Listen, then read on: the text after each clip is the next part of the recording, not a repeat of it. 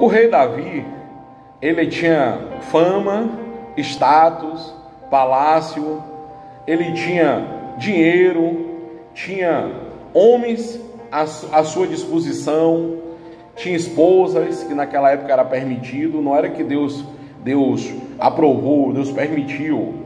Davi, ele tinha respeito pelas outras nações, Davi, ele tinha tudo, mas quando Davi pecou, no Salmo de número 51, ele reconhece a sua insignificância, sua pequenez, e diferente de muitos nos dias de hoje que só estão, só estão preocupados com dinheiro, com fama, com casa, carro, com as coisas materiais, até mesmo com casamento, com é, as coisas que, que, que são da terra.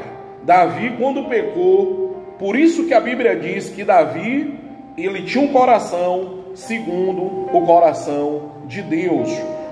Versículo 11 de Salmo 51: Não me lances fora de tua presença e não retire de mim o teu espírito.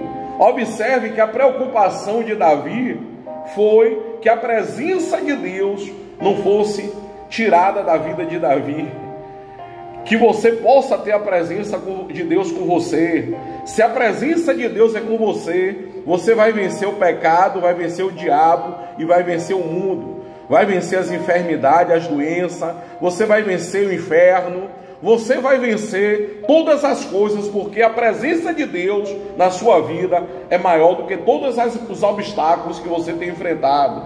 E para encerrar, ele diz: E não retire de mim o teu espírito. Sem o espírito de Deus nós não vamos vencer.